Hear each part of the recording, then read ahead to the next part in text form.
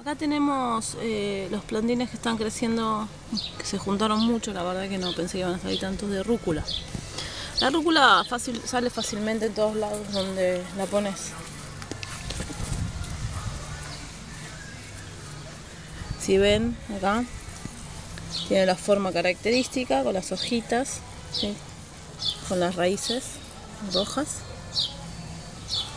¿sí? El, una un olor bien característico de la rúcula. Hay un montón, se llegan a ver.